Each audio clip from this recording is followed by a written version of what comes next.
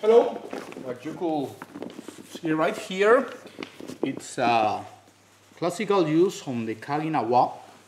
It's the rope with a hook. What we have seen here, it's uh, the employment, the usage of, uh, of this kind of, uh, of classical weapon that it's a combination of a rope with a hook. Here we have set up something in order to show you how violent the employment of this kind of uh, special technique of throwing the uh, throwing the, the hook it could be.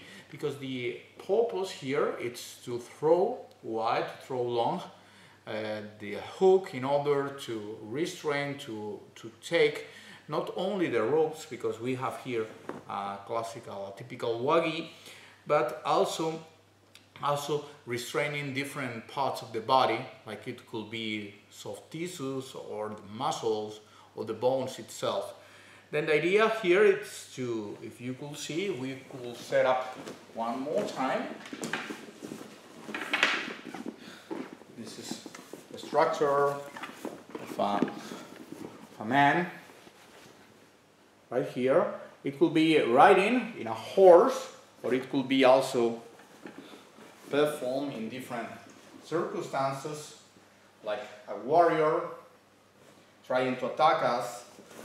But we will see here, it's with the hook, we could maybe restrain restraining here, from here, that you will see, you will see that it's here close to the spine. It could attack the nerves. We could also restrain from here in the worst of the situations that you could be only hooking, you could be, you will only restrain the clothes, but as you could see the clothes are restraining because in this kind of, of clothes, uh, they are strong and also could avoid you to draw. Then when we are restraining from here, what we could do, of course, is to move in in order to avoid any kind of uh, draw with the, of weapons that he could be carrying, like the sword, like the tanto, the knife, etc.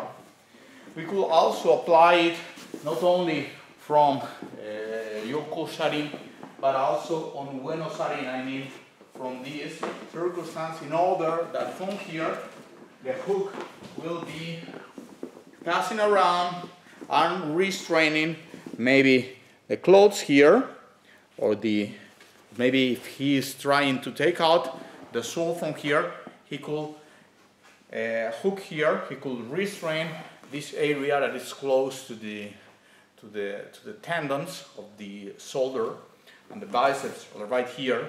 And after that, of course, that we have this control from here, we could block like in any kind of Hayanawa or in this kind of Nawano blocking and having control right here in order to perform the part of Shibaru, the part of uh, restriction with the rope.